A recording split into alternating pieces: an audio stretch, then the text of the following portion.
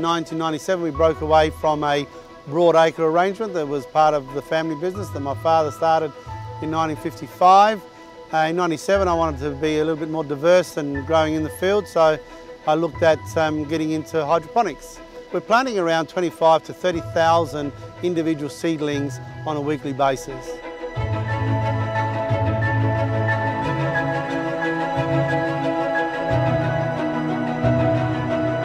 The operation has three facets to it. So it has a team that works in the hydroponic arrangement.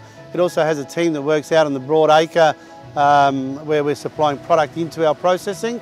And it has our processing um, arm as well. And we also have a uh, DC in the Adelaide produce markets. So we have in total around 30 to 35 um, employees. We have 24 hour continuous pumping for our hydroponic arrangements.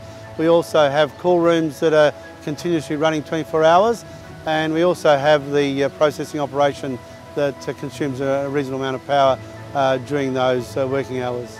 Our commercial clients are looking to insulate themselves from rising energy costs, so putting a solar quality solar panel system on that will last a long period of time is the ideal solution. We're looking at about to four to five thousand dollars a month in savings.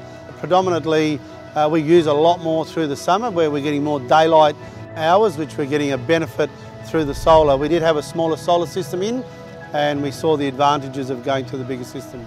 The important factors in commercial jobs, the customers want to actually insulate themselves from future energy costs. It's, you know, it's hard in South Australia to combat the, uh, the cost of electricity in, uh, in this state. So by investing in solar, you can have a three to five year return.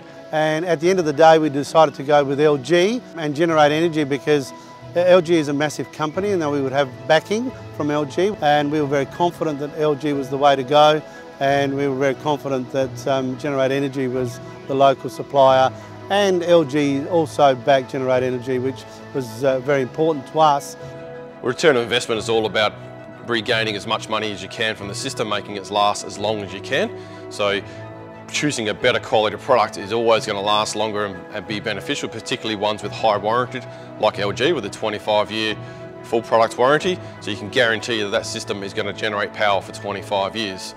I'm a very happy customer and I'm now looking at putting in some ground mounts where I can uh, use on uh, my broadacre as well.